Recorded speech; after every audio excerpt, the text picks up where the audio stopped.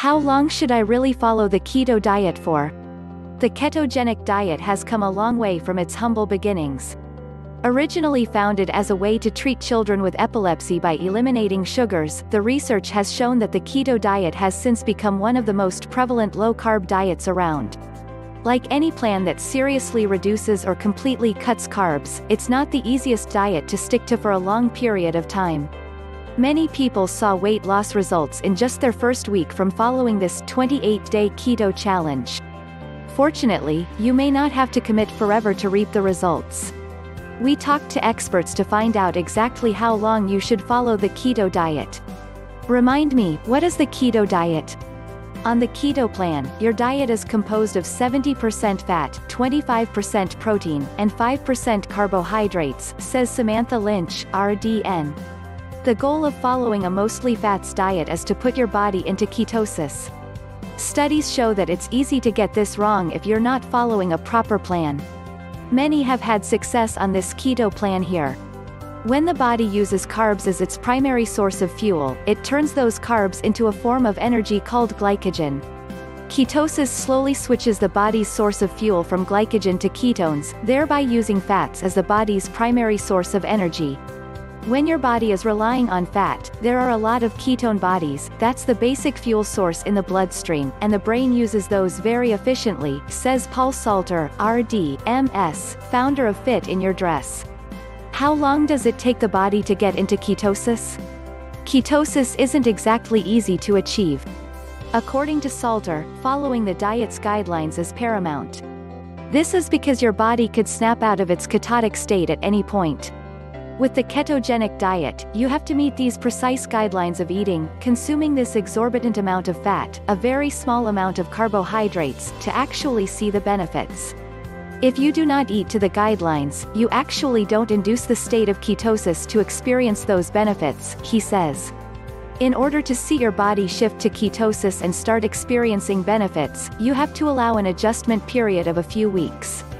The first two to six weeks are virtually the ketogenic adaptation phase, where your body is going through the adaptation of switching to relying primarily on fat versus glucose or carbohydrates. Salter says. He adds that to really see results, you should follow the diet for a minimum of three months. What are some things to keep in mind while following the keto diet? In order to achieve true ketosis and avoid any nutritional deficiencies, consult a registered dietitian or nutritionist prior to starting the keto diet. It's easy to develop an electrolyte imbalance while on the plan, Lynch says, as you are not allowed to consume many foods from which you gain electrolytes, such as certain grains, fruits, and vegetables. Additionally, it's important to pay attention to the kind of fat you consume.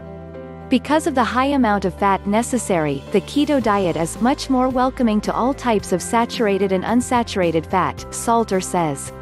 Try to balance out your fat intake to include healthier fats as well. Lynch adds, I think that people feel more satiated on a higher fat diet. But it has to be done right and include healthy fats. Some healthy sources are avocado, olives, nuts, and fatty fish. What are some things to keep in mind while following the keto diet?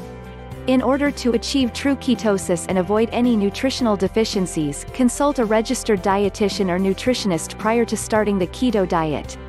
It's easy to develop an electrolyte imbalance while on the plan, Lynch says, as you are not allowed to consume many foods from which you gain electrolytes, such as certain grains, fruits, and vegetables. Additionally, it's important to pay attention to the kind of fat you consume. Because of the high amount of fat necessary, the keto diet is much more welcoming to all types of saturated and unsaturated fat, Salter says. Try to balance out your fat intake to include healthier fats as well. Lynch adds, I think that people feel more satiated on a higher fat diet. But it has to be done right and include healthy fats. Some healthy sources are avocado, olives, nuts, and fatty fish. So, how long should I follow the keto diet?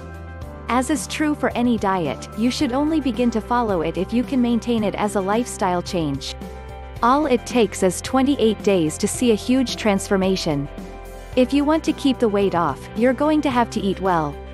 You can't go back to your old ways. Lynch says. A diet has an endpoint, and that's the problem. With a lifestyle, there's no end point. You have to put the work in. Salter echoes that sentiment, adding that there is no finite limit as long as someone knows how to properly navigate carb-infested situations like social gatherings, vacations, and holidays, or they are okay with the ramifications if they do rapidly introduce carbohydrates in a short period of time. Any diet needs to be something that can you do and maintain for far longer. The keto diet certainly is. You just have to be diligent and educate yourself.